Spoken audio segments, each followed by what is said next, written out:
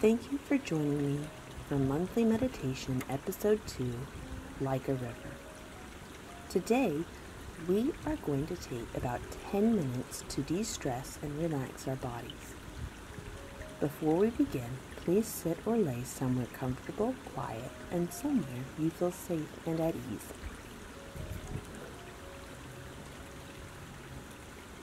Taking slow, deep breaths, imagine a river flowing through you, from the top of your head down to your toes.